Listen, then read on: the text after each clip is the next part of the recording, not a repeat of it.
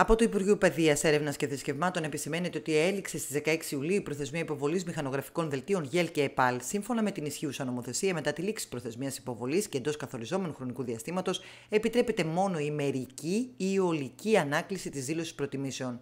Κατ' εφαρμογή λοιπόν των ανωτέρων, ορίζεται προθεσμία ως και την Τετάρτη, μέσα στην οποία οι υποψήφοι που υπέβαλαν εμπρόθεσμα το μηχανογραφικό τους δελτίο μπορούν να προχωρήσουν σε μερική ή ολική ανάκληση προτιμήσεων. Για την υλοποίηση της διαδικασίας, όσοι υποψήφοι τυχόν επιθυμούν μερική ή ολική ανάκλησης προτιμήσεων, πρέπει να επισκεφθούν στο διαδίκτυο την ηλεκτρονική διεύθυνση του Υπουργείου. Μέσω αυτής της εφαρμογής θα μπορούν μόνο να διαγράψουν κάποια ή κάποιες από τις προτιμήσεις τους ή και όλες. Διευκρινίζεται ότι δεν θα μπορούν να αλλάξουν τη σειρά των προτιμήσεων ούτε να προσθέσουν νέες προτιμήσεις. Μετά τη διαγραφή, κάποιες προτίμησει οριστικοποιούν εκ νέου το μηχανογραφικό δελτίο, το οποίο διατηρεί τον ίδιο αριθμό πρωτοκόλου, αλλά με νεότερη ημερομηνία. Επισημαίνεται επίσης ότι η ενωτέρω προθεσμία είναι οριστική και μετά την παρέλευσή της δεν θα γίνει δεκτή καμία αλλαγή στα μηχανογραφικά δελτία. Στο μεταξύ, με δήλωσή του, ο πρόεδρος της ΕΛΜΕ Ιωαννίνων, Στέφανος Μιχάλης, υπεραμείνεται τη διατήρηση των πανελλήνιων εξετάσεων, καθώς, όπως είπε, είναι το μόνο αδιάβλητο σύστημα εισαγωγής στη δυροβάθμια εκπαίδευση. Ο πρόεδρος υποστήριξε ότι το σύστημα των πανελλήνιων που εφαρμόζεται στη χώρα μας δεκαετίες επιτρέπει την εισαγωγή των μαθητών στα έτη της χώρας με τρόπο που δεν αφήνει καμία αμφισβήτηση. Εννοείται και εμείς τα παρακολουθούμε, αλλά εκείνο που παρακολουθούμε έτσι με μεγαλύτερη προσοχή είναι η κατά διαστήματα ανακοινώσεις του Υπουργού Παιδείας για τον τρόπο εισαγωγής στην τριτοβάθμια εκπαίδευση κτλ. Και εκεί λοιπόν εστιάζουμε πάρα πολύ την προσοχή μας το τελευταίο καιρό, γιατί ξέρετε, είμαστε στην Ελλάδα και το καλοκαίρι είναι ε, μια απρόβλητη περίοδος. Γιατί τότε περνάνε πολλά νομοσχέδια, πολλοί νόμοι, πολλές υπουργικές αποφάσεις, οι οποίες μας βρίσκουν απροετοίμαστους.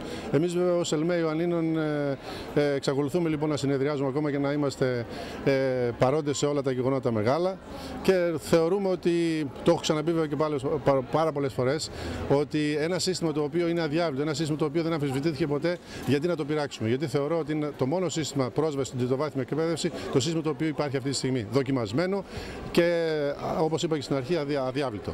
Ναι. Κύριε Μιχαλή, ε, ουσιαστικά λένε ότι θα πάνε σε αναβάθμιση εσωτερικά στο σχολείο. Ναι. Ότι δηλαδή το σχολείο θα ξανααποκτήσει μία έννοια. Γιατί τα παιδιά αυτή τη στιγμή, κακά τα ψέματα, πηγαίνουν στο σχολείο και ο μόνος λόγος που πηγαίνουν ναι. είναι να μπορούσαν να δώσουν πανελίνη. Η αλήθεια είναι ότι τα τελευταία χρόνια ο τρόπος λειτουργίας ε, του Λυκείου ε, είναι αυτό που λέτε εσείς, αλλά παρόλα αυτά εμείς ως συνδικαλιστικό όργανο και με ανακοινώσεις ΟΛΜΕ ζητάμε τουλάχιστον την αυτονομία των, ε, όλων των Λυκείων, να μπορούν τουλάχιστον να λειτουργούν με τρόπο τέτοιο να προκαλούν και να προσκαλούν τους μαθές να έχουν παρουσία στο σχολείο και να μπορούν μέσα από τη διαδικασία αυτή να μπορούν να έχουν επιτυχίες. Ε, τρανταχτά παραδείγματα είναι ότι πάρα πολλά παιδιά τα οποία είναι από φτωχές οικογένειες και μου έχουν τύχει και εμένα πάρα πολλές φορές να μην έχουν πάει καθόλου φροντιστήριο και να έχουν επιτυχία. Συγκεκριμένα ένα μαθητή, θυμάμαι στην αμφιλογία που είχα πρωτοδιοριστεί, είχε περάσει ιατρική Ιωαννίνων χωρίς να πάει καν φροντιστήριο. Αυτό είναι ένα δείγμα ότι πραγματικά γίνεται μεγάλη δουλειά, αρκεί εμείς οι ίδιοι να το πιστέψουμε και η κοινωνία για να μπορέσει να εμπιστευτεί τους καθηγητές, οι οποίοι επιτελούν τεράστιο έργο.